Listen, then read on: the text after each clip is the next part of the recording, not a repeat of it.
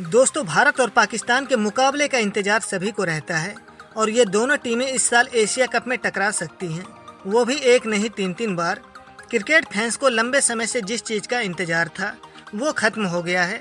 Pakistan cricket board ने Asia cup 2023 की तारीखों का ऐलान कर दिया है।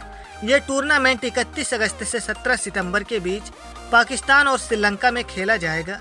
इसी के साथ भारत और पाकिस्तान के फैंस जो भारत और पाकिस्तान के मुकाबलों का इंतज़ार करते हैं, उनका इंतज़ार भी खत्म हो जाएगा, क्योंकि ये दोनों टीमें या तो आईसीसी के टूर्नामेंट्स में टकराती हैं, या फिर एशिया कप में। एशिया कप में दोनों ही टीमें काफ़ी मज़बूत टीमों के तौर पर उतरेंगी, लेकिन इस एशिया कप में दोनों टीमों के बीच तीन मैच खेले जा सकते हैं। एशिया कप का फॉर्मेट देखा जाए तो इसमें हिस्सा लेने वाली छह टीमों को दो ग्रुपों में बांटा जाएगा और कुल तेरह मैच खेले जाएँगे।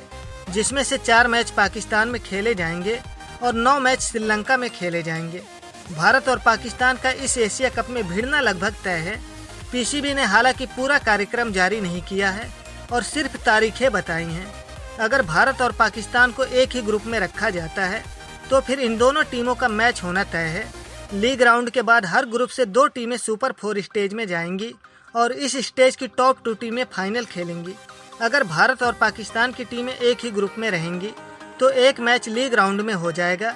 इसके बाद अगर दोनों टीमें सुपर फोर में आती हैं तो फिर दोनों टीमें एक बार फिर भिड़ेंगी। पिछले एशिया कप के कार्यक्रम के मुताबिक, सुपर फोर में पहुँचने वाली टीम हर टीम से मैच खेलती है। यानी अगर भारत और पाकिस्तान सुपर फोर में आती हैं तो फिर एक मुकाबला यहाँ तय है। इसके बाद अगर ये दोनों टीमें सुपर फोर में टॉप टू में रहती हैं तो फाइनल में पहुंचेंगी। और इस तरह से इस एशिया कप में ये टीमें तीसरी बार भिड़ेंगी। पिछली बार भारत एशिया कप के फाइनल में नहीं पहुँच सका था और सुपर फोर से ही बाहर हो गया था। इस बार टीम इंडिया हर हाल में ये एशिया कप अपने नाम करना चाहेगी। इस एशिया कप से भारत और बाकी की सभी टीमें इसी साल अक्टूबर नवंबर में होने वाले वनडे वर्ल्ड कप की तैयारी करेंगी। वहीं पाकिस्तान पिछले साल की कसर पूरी करना चाहेगा। पिछले साल बाबर आज़म की कप्तानी वाली इस टीम ने फाइनल में जगह बनाई थी। लेकिन श्रीलंका से मात खा गई थी। दोस्तों, अगर आपको ये वीडियो अच्छी लगी हो तो वीडियो को लाइक करें। और अगर चैनल पर पहली बार आए हैं तो आपसे एक छोटी सी रिक्वेस्ट है। प्लीज़ चैनल को सब्सक्राइब करें। धन्यवाद।